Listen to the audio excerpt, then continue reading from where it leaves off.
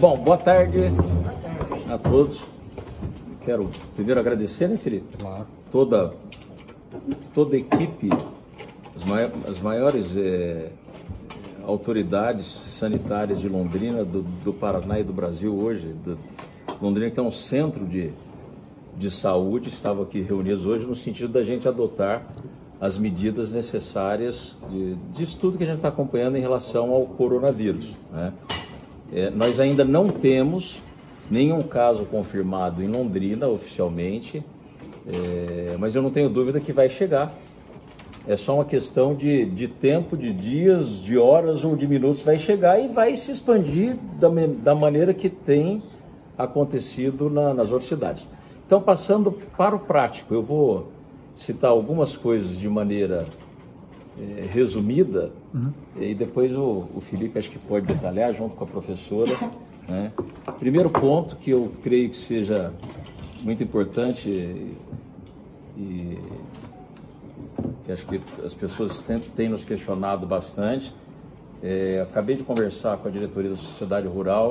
Nós estamos suspendendo a exposição agropecuária de Londrina.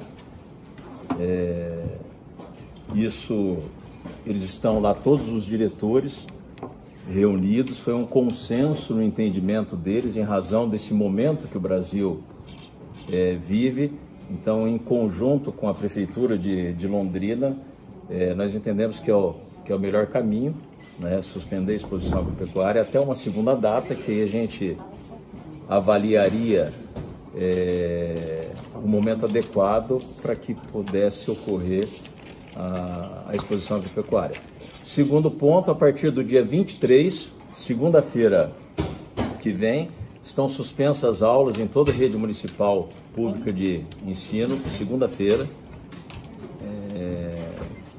Terceiro ponto, estão restringindo é, as visitas aos, aos, ambientes hospitalares. De quando a quando suspensão municipal? Suspensão por tempo indeterminado. É, a, avaliação será contínua, dia a dia, por uma equipe técnica especializada e a gente vai avaliando dia a dia para analisar exatamente 23, 23 segunda-feira.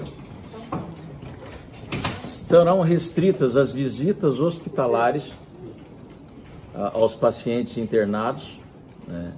É, nós estamos suspendendo todos os grupos de idosos na, na, na cidade de Londrina, as atividades dos grupos de de idosos, também as atividades do grupo de idosos do, do NASF.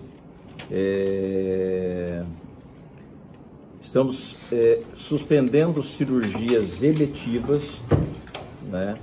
É, isso, isso que a gente está falando aqui é tudo, nós estamos falando em relação à rede pública e particular. É claro que a própria rede privada tem uma especificidade, já existiam algumas questões marcadas, assim como na rede pública, mas estarão suspensas cirurgias. Fora as, as escolas, o resto é tudo já ou não? Tudo já, a partir de já. Exceto as escolas, que é segunda. Sim.